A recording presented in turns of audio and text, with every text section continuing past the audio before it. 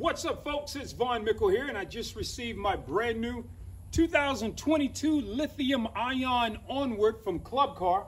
What I want to do is go into a detailed uh, view of why I picked this car, some of the basic features, some of the standard features, and just hopes that uh, for those of you who are looking for your own golf cart, that this might help you out. Uh, a lot of times when folks do these videos, they spend two, three minutes going into uh, all the razzmatazz about why they're doing what without actually showing. And as much as I appreciate those long introductions, I'd rather grab that camera and start showing you what's of interest. So that being said, if it's all the same to you, uh, let's do just that. Uh, the reason why I decided to buy a golf cart is uh, very fortunate to live in one of these country club style communities down here in South Florida. Uh, and commonly, these communities will come with a third car garage that's designed exclusively for a golf cart. Uh, so I decided to take advantage of that space and uh, I decided to buy a golf cart. Now, I did not know anything about golf carts uh, before. I've only rented a golf cart a couple of times, uh, very few times did that include playing golf. I am not a golfer, don't really plan to use it to play golf. Uh, but I am a Lamborghini fan, so when I go to the Super Trofeo races, uh, especially up in Virginia, they'll allow you to rent a golf cart, but if you don't get in early, you can't get one with the canopy top, and it's a two-seater.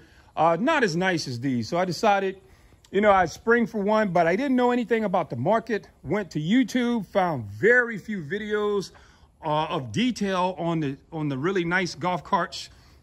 So I decided to do one uh, of my own.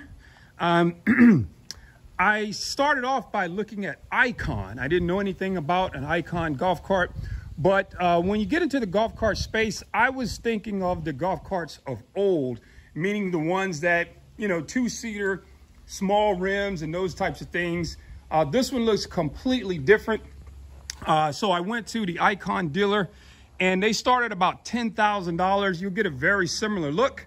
I did not ultimately go with an Icon simply because when I went around to all, all the dealers, I went to the service centers and they said, hey, it's going to be hard to get the parts uh, because they come from China for one, uh, but two, because we're still in the midst of this pandemic, it is uh, very difficult to get those parts. So they have icons that have been sitting for six or seven months. Um, because they simply cannot get the parts. So I said, you know, that's not going to be any good. So I opted to uh, go look around a little bit, do more research, and I found myself at Champion Club Car or Champion Golf Carts. It's down in Palm City, Florida, and it's with the uh, sales director, Mitch. Uh, we decided to go with this one. Uh, also, shouts out to uh, let's see, Doyle Lawson, who posted a YouTube video where he said he built his online on Club Car's website. So I did the same thing. So shouts out to uh, Mr. Lawson there for uh, helping me out. Uh, and I put it together just like this. And it came just like uh, what I put together uh, on the video. Nothing more, nothing less. So, so those are some of the reasons why I got into uh, this particular car. Now, I didn't particularly need a new one. The trouble was, again, being in the pandemic, uh, you know, you couldn't cough, sneeze, or, or be with within six feet of space. So that sent a lot of people to the golf courses. And that in turn sent the demand for golf carts through the roof. I was told that the price went up substantially since the pandemic has hit. I cannot confirm or deny that. But what I can say is, yeah, they are pricey. Uh, if I could have found one that was used that looks similar to this, um, you know, that would have been fine. But I thought I was going to, you know, find something like this in the used market. I simply couldn't. They just weren't out there. And then the ones that were out there, they were 25 years old. Just didn't look like anything I wanted to invest uh, big money in. Uh, speaking of money, I thought a golf cart would be maybe 7,500 bucks at the most. Uh, boy, was I wrong. They can be four times that much easy and then some. Uh, so uh, going back to the Icon version, an Icon that looks sort of like this, about 10 grand, multiple colors. The trouble was, A, it's outside, or that particular dealer is outside. Not that being outside is a problem, but that's a lot of money to be spending on something that's sitting outside in the elements, the wind, the rain, that sort of thing. So then I went to the uh, champion location and they had it uh, internal. Everything was nice and clean. The floor was clean. The lights were bright. They showed all the different rim options, seat options, just so many options that I wasn't getting in so many other places. So I thought that that spoke a lot about the reputation of the dealer in that particular location. So I went ahead and went for that. Um, now let's get into some of the standard features and also the options that you see on this course or this cart. So again, your, um, your lithium ion, this one has the 14 inch bright chrome Athena with Morpheus steel belted radial tires. Uh, so obviously the, the, chrome look, I like the look of that. It's pretty slick looking. Uh, there's a premium comfort grip steering wheel, which I don't know what the other steering wheel, steering wheel would feel like. I mean, I don't know how important uh, that is. Uh, we also have the premium DLT windshield, which I, I know the first thing is this windshield folds down. Uh, it's nice to leave it open so you can get some wind uh, while you're, you're, driving, but also uh, you can make some modifications and register this one with the local DMV, and then you can put it on the road. And a lot of these South Florida communities uh, have areas where golf carts are used extensively. Uh, I probably won't use that this one as much, but it does have uh, a couple of features that I can see putting into uh, use. Uh, it has the uh, rear locking trunk. Now there's a, uh, just across the street from me, there's a, a uh, shopping center that has a grocery store and some restaurants. So I can see, you know, if you go to a grocery store to grab something and then maybe you want to go to a restaurant afterwards, store your things in here. It's a really good size space. I'm not sure how much of that you can see, but it's, uh, you can put uh, quite a few things in there, you know, eggs, bread, milk, or, you know, whatever. Not that you'll put milk uh, in a storage in Florida, but just saying those options. Uh, let's see what else we have. The uh, side mirrors, which you can see here. Now that's flanked by this flag here. You'll see an Activate Gorilla Grind Mode flag. That's my uh, t-shirt t-shirt company. And incidentally, Activate Gorilla Grind Mode is also what you see uh, on my t-shirt. Uh, that whole thing was born. This, by the way, comes from North Star Flags out of North Carolina. Uh, that whole concept was born. Um, billionaire Robert Johnson walked past me one day in the private jet airport and he got on his private jet and uh, he was out and I got really motivated uh, seeing that and uh, right at that moment created the whole activate gorilla grind mode concept because you don't just uh, you know, work a little hard to get to those levels. You have to grind. Uh, and I created Activate Gorilla Grind mode with the Nike ball sort of on a golf course. But at any rate, uh, we have the side view mirrors here. They didn't cost uh, too much. Um, let's see what else we have. The brush guard. So you see the brush guard over the wheels, the front and the back. Uh, we also have the fender flares. Also, there's a receiver hitch. So if you look right here, there's a receiver hitch. I don't know what the the weight for that or the tonnage for that is, but it's a receiver hitch there. Uh, incidentally, I did use that receiver hitch and I hooked it up to my trailer here uh, just to drag it, just to see what my towing capacity would be because again, I will not be playing golf with this cart. However, uh, I can use it on some of my property that I have in another state. And so it did pull this, this uh, trailer here with the greatest of ease. There's another YouTube video out there where a gentleman put a riding lawnmower on his uh, golf cart, or should I say on his trailer, and he pulled it with his golf cart. So I'm sure you'll see that. Uh, he did all types of speed tests and power tests. I won't do that in this video, but I can certainly see that uh, those things were true based off the test I did this morning. Again, I just got this a couple hours ago. Um, we have the uh, canopy grab handles. So obviously, if your passengers are getting on the back here, use them uh, to help get in. Also, uh, these things are top heavy, so you got to be careful if you put four passengers on here. You don't go slinging around like it's some fun toy. You know, you'll turn these things over. I've heard that it can get a little hairy scary, so you got to be careful. But other than that, you should be fine. And then finally, we have the premium sound bar. I'll turn that on in just a little bit, so we'll give you uh, a dose of what the sound is like for this premium sound bar and why uh, I got that. So uh, let me uh, uh, start with the, or should I say, let's get into the various options uh, to power this cart. And then you'll probably help understand why I got the lithium ion version. All right, so let's get into the uh, the various costs. So you have three different ways you're going to power these carts. The first is by gas. Now, again, in these sort of premium communities, they don't let you have a gas-powered golf cart, so that eliminates that version. There's also the uh, lead acid battery. Uh, lead acid battery adds about 300 pounds to the weight of the cart. And uh, what you have to do is um, every three years so, three years or so, replace that. You also have to keep the water topped off. And I just really didn't want to get into that business. It's not that I'm above it or, you know, I'm beyond that. Uh, it's just for the, the, uh, the extra money and what you get with the lithium ion battery, I like that option better. And so if you think of it in terms of like a Tesla, you just plug your, uh, your cart, you should have said you plug your charger in sort of right here.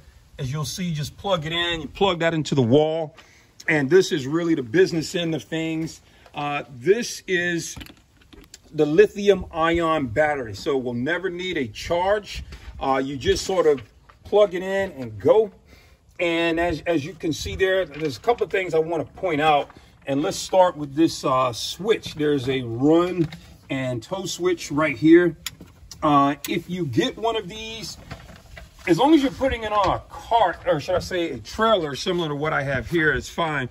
But if you ever have to tow this vehicle itself, you have to put it in tow. Otherwise, you'll do uh, a lot of damage. So you'll see there, again, that's the lithium ion battery. And one of the reasons why, or should I say an additional reason why I went with the lithium ion battery is because of degradation of service of your lead acid battery. I'm told that if you fully charge your lead acid battery uh, and it gets down to say maybe 30, 40%, if the cart is supposed to run 15 miles an hour, and I'm just making this up, once it, uh, the power source gets low, it, it won't do that much. So if you're pulling something or if you're out on a golf, maybe you're playing two rounds or something and you need to get up some hills, uh, I'm told that you will lose some power on your cart when the things uh, get low like that. So uh, so that's, again, your gas, your lead acid battery, and then your lithium ion battery, which is what this is. So uh, let's also get into costs. Now, again, I said I started off by looking at some of the competitive brands. So something that looks like this from one of the competitors. Again, I'll just pick on uh, Icon, about 10 grand. Um, and then I looked at some of the others, which I'm not as familiar with. I went with Club car because you can get the parts easy. Now, this club car starts at uh, just over 13,000. I think it's about 13.4. Uh, now, when I went with this lithium ion battery, that added almost $3,000 to the price. So right there, I'm at 17,000. Um, some of the other costs came from these shiny chrome rims. The rims that came with it was fine, by the way. Uh, this is probably about four or $500 option for these particular rims this nice seat. The seat that comes with it, you know, standard is pretty good, but you can see these sort of uh, cross stitching here, the nice leather white. Seems like it'll get dirty quick, but the gentleman who delivered it this morning uh, said you just wipe it down.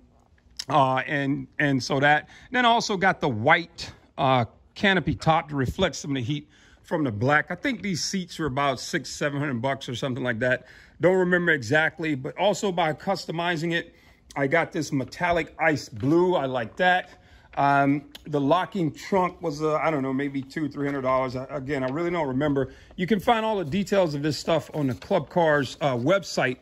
Uh, another option that I got, uh, and you will see here, is the uh, this sort of space. You can fill this with ice and drink some toll and it's really deep down here. I'm not sure how much you all can, can see that there, but it's very deep. You can put easily a case and then some of, of your favorite beverage uh, and, you know, fill it with ice and then has a nice drain so it'll come out of there. Um, so that's that as well. Uh, and then this premium sound bar. I'm going to turn this thing on so you see what it sounds like. It is a high quality sound. Let's get a little Richard Elliott going here from, uh, you know, the online retailer. So I did, did go ahead and spring for that uh, premium soundbar. Uh, so, so many other features that you'll see. The uh, with this upgraded windshield, uh, it goes all the way down to the to the edge there. So I think that helps with it helps with the sealing. There's a little bit of carbon fiber uh, going on right there. Um, this thing does uh, just over 19 miles per hour. Uh, as it says, I didn't clock it, but you know, it certainly felt that way. There's a couple of USB ports that you see here from Club Car um, that you can use. Again, you have your forward, reverse, your charging. You got a couple of cup holders going on here. Um, your grab handles. Now, all in, this particular cart was just under $20,000. Obviously, that's a lot of money. It's not for everybody. but again, I just didn't find enough detail uh, for people spending this kind of money on these things. So I decided I'd give as detailed of a go at this as I could. Uh, again, these are 14 inch rims. In fact, uh, let's uh, take a look up under here in case anybody's interested. You'll see sort of their steel frame there. Uh, it's a, um, I'm not really a mechanic, but uh, for those of you who, if this has any value to you to sort of see your ground clearance and uh, you know what the mechanics of this thing is, where the steel is, in case you're hauling something. Uh, again, I'm not going to be using it playing golf. Uh, not that I can see so far, but uh, again, just to give you a, a, look at what these things look like, sort of uh, inside and out. Uh, your tires, 215, 50, 40, uh, your mag wheels there, and all those types of things. So, so those again are all your sort of standard and upgraded features, you know, your towing package uh, and everything like that. So, so again, my, my goal behind this whole video was to go into uh, some pretty heavy detail to help you all out. Uh, if you decide to go down to Champion uh, Golf Carts in Palm City, Florida, be sure to see Mitch. He's the sort of the sales director. In fact, I think he is the de facto go-to standard. Very nice guy. Uh, he was very professional. Uh, the guy who I went to talk with over at uh, Icon, unfortunately, uh, he was doing just fine. He could have easily sold me two carts for what I paid for this one at 10 grand a piece, but I simply asked the guy about financing. And he treated me like I was the absolute uh, trailer trash scum of the earth. Incidentally, I do come from a trailer park, uh, but not anymore. Um, and so uh, you know, my life has changed, but I didn't expect that kind of a treatment. It was a simple ask of a question. Uh, it didn't mean that I wanted financing. It didn't mean I needed. I simply asked about it, but he didn't.